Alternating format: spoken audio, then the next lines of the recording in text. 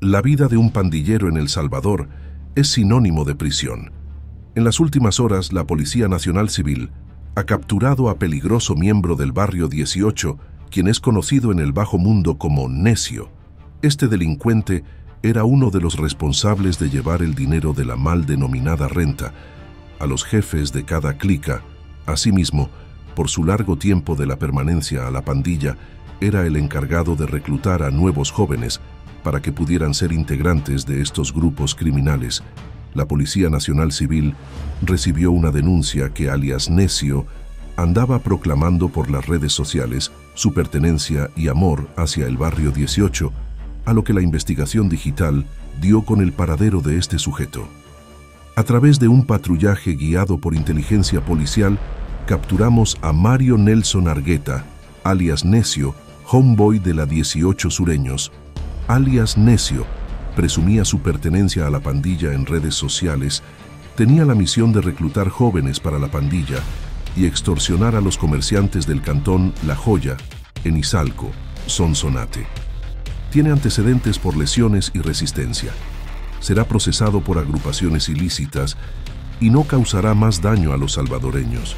Ante la captura de más de 81 mil pandilleros, los grupos criminales buscan nuevos líderes para no desaparecer, pero el pensamiento ilógico de estos delincuentes es que a ellos no les llegará la mano de la justicia salvadoreña y volverán a sus viejas glorias. Ante estas estrategias desesperadas de encontrar un nuevo líder, no les duró mucho, ya que este día fue capturado el nuevo líder de un grupo criminal. La Policía Nacional Civil colocó la información de esta captura en sus redes sociales, colocando lo siguiente. En Ocicala, Morazán, capturamos a Jimmy Adin Sol García, alias Jerry, pandillero de la MS-13. Este sujeto había quedado al mando del grupo Guanacos, Little Siacos, Locos Salvatruchos, luego que los cabecillas ya están en prisión. Será enviado al SECOT directamente para que siga con sus antiguos jefes. Este jueves fue inaugurada la exposición Tiflológica Itinerante 2024, en la cual participaron personas con discapacidad visual. ¿De qué se trata? La actividad básicamente consistió en la presentación de maquetas de las joyas arquitectónicas del centro de San Salvador para que éstas fueran exploradas por este sector de la población salvadoreña. Se trata de 13 maquetas de joyas arquitectónicas emblemáticas de El Salvador, que fueron puestas a disposición de personas no videntes para que puedan tocarlas y apreciar la arquitectura de estos edificios. El Ministerio de Cultura, el Consejo Nacional para la Inclusión de las Personas con Discapacidad y la Universidad Politécnica de El Salvador inauguraron la primera exposición tiflológica itinerante 2024. Como primera de las actividades prácticamente se formuló esta idea de eh, desarrollar y construir estas maquetas que pudieran ser eh, accesibles por las personas con discapacidad visual, las puedan tocar. La Biblioteca Nacional de El Salvador abrió sus puertas para esta exposición Estela Ventura y Delia García son personas no videntes que con sus manos pudieron admirar la Catedral Metropolitana de San Salvador a través de esta maqueta. Para nosotros es un gran logro, ¿verdad? El tratar de identificar, de conocer de cómo está actualmente nuestro centro histórico. Uno revive, se transporta. Está muy bonito todo. Las maquetas han sido elaboradas con técnicas avanzadas en 3D, utilizando materiales y texturas que facilitan la exploración y comprensión del entorno arquitectónico a través del tacto. Las personas no videntes exploraron con sus manos la Iglesia del Calvario, el Palacio Nacional, la Plaza Libertad, entre otros. Con pasos firmes avanza la construcción de la planta potabilizadora de Ilopango, la cual llevará agua de calidad a miles de salvadoreños que residen en siete distritos de San Salvador. Así lo detalló el presidente de ANDA, Rubén Alemán. Esta planta, junto con la de Guluchapa, van a robustecer el abastecimiento para más de 250 mil personas. Se refiere a la planta potabilizadora de Ilopango, que será construida con una inversión de 40 millones de dólares, una donación realizada por la República Popular China.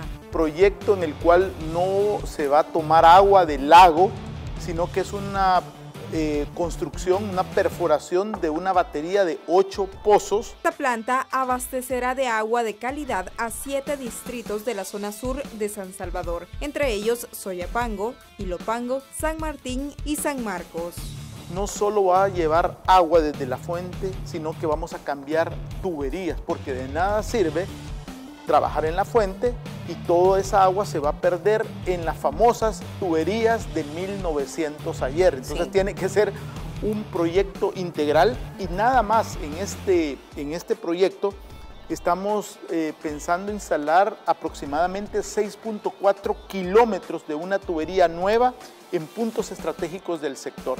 La primera piedra para la construcción de esta obra fue colocada a finales de 2023. Desde esa fecha ya hay avances significativos. Está muy avanzada la construcción de la cisterna, está muy avanzado la construcción del lugar donde se van a almacenar todos los químicos, eh, todos eh, los entronques y las conexiones dentro de la planta ya están listos.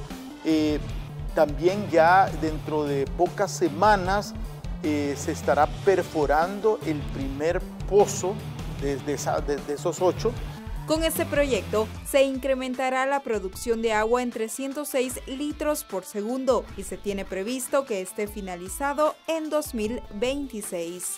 Eh, continúa de forma frontal esta alerta roja, hay que recordar, ha permitido intensificar esas medidas y con ello El Salvador comienza a ganar de forma contundente esa batalla contra el dengue. La disminución de casos ya es una realidad, pero en ese punto es donde más debe de generarse estas medidas medidas para eh, no bajar la guardia y sobre todo evitar un nuevo incremento de casos de esta enfermedad que ha afectado a distintos países a nivel latinoamericano, sobre todo en la región centroamericana, y con ello la lucha se mantiene de forma frontal y con esto se han eh, desplegado una serie de medidas, las principales, obviamente la fumigación y por supuesto esta campaña de abatización que se ha generado, Stephanie, a lo largo de muchos sectores del país. Así es, y parte de esto lo mencionaba ayer el ministro de Salud, Francisco Alaví, donde explicaba que la institución ha detectado una disminución en estos resultados positivos de las pruebas que ellos realizan a pacientes febriles, de las cuales se han identificado 268 casos positivos en el territorio actualmente. Recordemos que el gobierno de El Salvador ha reforzado todas las acciones de combate contra el zancudo transmisor del dengue que incluye lo que estamos viendo en pantalla, la fumigación de viviendas y sitios públicos como parte de la alerta epidemiológica que fue emitida el pasado 2 de julio. Sin duda son muchas las instituciones que están trabajando de manera articulada también las diversas alcaldías del país para poder brindar esa atención oportuna en la erradicación de los criaderos de zancudos también, que parte de los contingentes que visita el Ministerio de Salud es llevar a promotores de salud que ellos están verificando cuando existen estos criaderos, los eliminan para que la población salvadoreña tenga una mejor calidad de vida y no los afecte el dengue. Y como producto de todas estas estrategias, de todas estas acciones que se están realizando por parte del gobierno salvadoreño para poder eliminar los criaderos de zancudo, el país le sigue ganando la batalla al dengue. De hecho, lo decía Stephanie, los casos positivos van a la disminución y los pacientes ingresados en estado de gravedad también están siendo extubados. Le presentamos más detalles de cómo avanza este combate contra el dengue en nuestro territorio.